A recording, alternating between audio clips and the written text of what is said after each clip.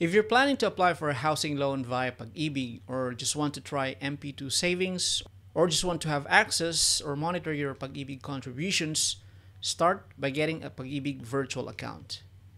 If you don't want to have yet, I'll walk you through the steps, so be sure to stick around and watch this video.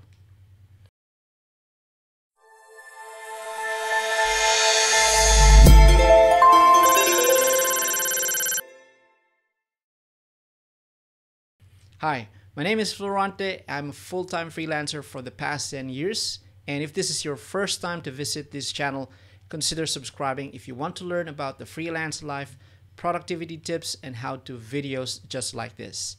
All this information are made for you for free. And in today's video, I'm going to walk you through the steps on how to create your Pag-ibig virtual account. Now, before we get started, it's important that you prepare some of these things that you will need to complete the registration process. You need to have your Pag-ibig MID number or member ID number.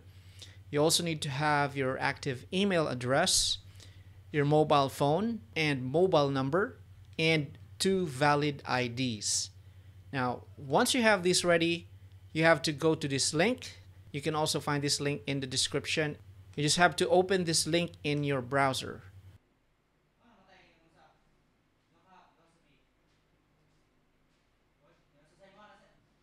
Now, once you are on the website, you just have to click on the Create Account button. There are three options to choose from. Now, in this particular tutorial, we're going to create my account online and activate at the nearest Pag-ibig branch in my area. I'll go ahead and choose the middle option by clicking on the Click Here button. Alright, in the Pag-ibig virtual account creation window, you just have to fill out all the fields required. Once you have filled out all the information, click on Proceed. Be sure that you have your mobile phone with you as you will be sent a one-time PIN to confirm your registration.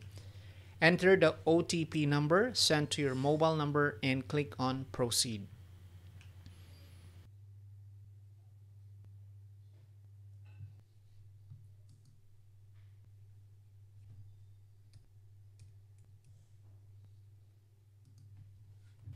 For the member information window, you just have to fill out all the fields in this window.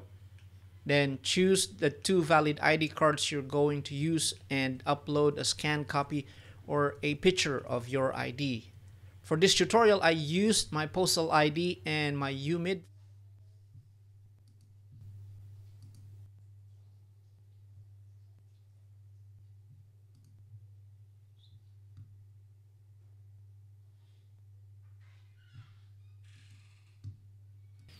And you're also required to take a selfie while holding one of the valid IDs you submitted and upload it by clicking on the select file button.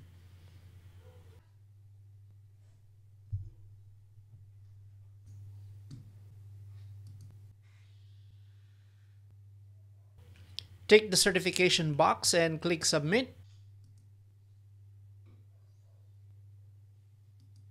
if your submission is successfully validated, the next thing to do is to go to your nearest Pag-ibig Fund office and request for activation. You will then receive an activation email that contains a link and your temporary password that you will use in the login page. So you just have to enter your registered email address and the temporary password, then click on verify. You will then be provided a new field to fill out with your new password. So be sure to have it written down or save in tools like 1Password or LastPass for easy access. Once you've completed that, you're all set. Welcome to Virtual Pag-ibig.